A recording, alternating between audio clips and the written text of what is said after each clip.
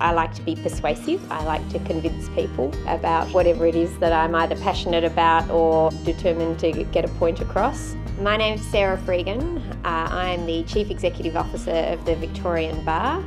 I have a Bachelor of Laws and a Bachelor of Legal Studies uh, from La Trobe University and I graduated the first in 1994 and the second in 1997. I spent um, more of my 20s uh, at La Trobe than I did doing anything else. People would say, oh La Trobe, what's that like? I say, well we have ducks and you know, we have landscape and you know, quite a big area. La Trobe um, having had a really well established legal studies department and social sciences department at the time was a great you know footing but then when they um, announced they were starting a law degree I was uh, I was thrilled obviously yeah.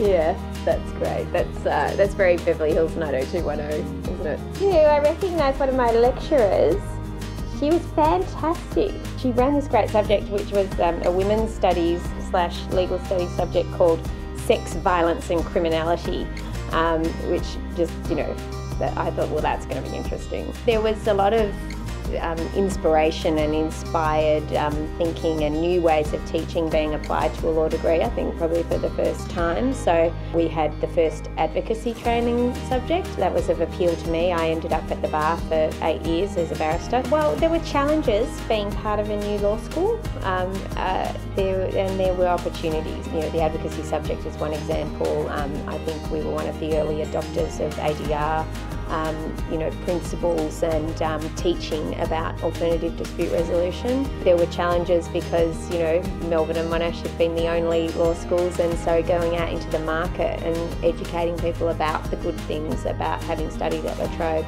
um, and the benefits of it were a challenge, I think, for the early graduates, whereas I think now it's very well established and, you know, it's, it's right up there with the leading law schools.